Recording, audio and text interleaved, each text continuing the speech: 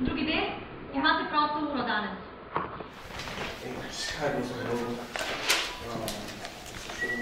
Ja, ti tako bo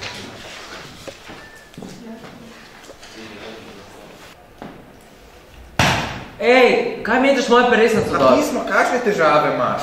Ti pa jaz pred šolo, ena na ena. Vela! Brez kalkulatorjev! Po šesti uri. Tako! Prosim, Tina, če preveriš fanta, da nima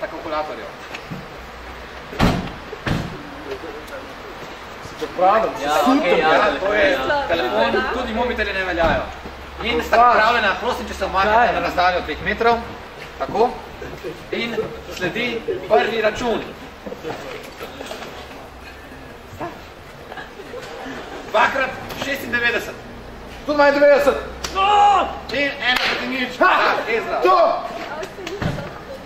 Pa podimo. Zdaj bo račun težji. Pripravljena?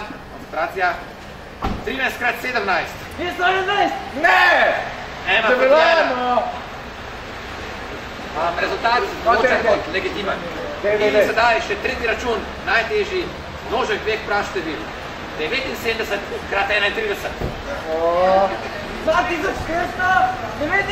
Znate pravila? Tako si marsikdo predstavlja gimnazijo Bežgrad. Kakšna pa je njena resnična podoba? Oglejmo si to še enkrat.